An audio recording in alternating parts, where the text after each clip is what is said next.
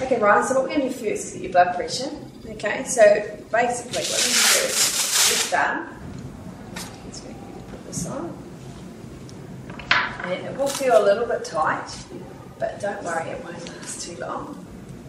So what I'm doing is, I'm just actually placing this onto your arm, just to make sure that the arrow here is right on where the artery is. And here, so I can hear it. And you just relax.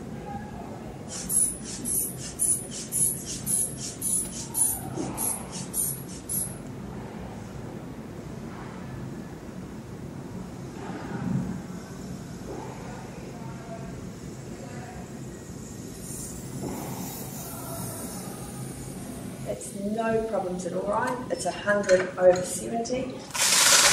Really good blood pressure. It's actually quite low, but there's no problems with that. The normal is about 120 over 70.